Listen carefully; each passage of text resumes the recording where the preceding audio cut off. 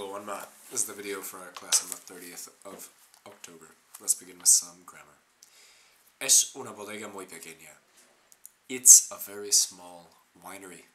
It's a very small winery. ¿Hace falta todo eso?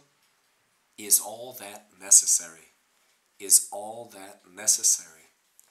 Next, some vocabulary. Domar la fiera. Tame the beast. To tame the beast. Clara de huevo, egg white. Egg white. Muerto, dead. Dead.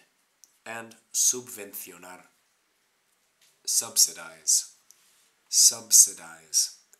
Lastly, some pronunciation. We had visit, visit, barrel, that is barrica, barrel, test, test something, like a scientist, or to taste, to taste, like wine in a winery. And lastly, famous, famous. Okay, that's all. Thanks very much. Bye-bye.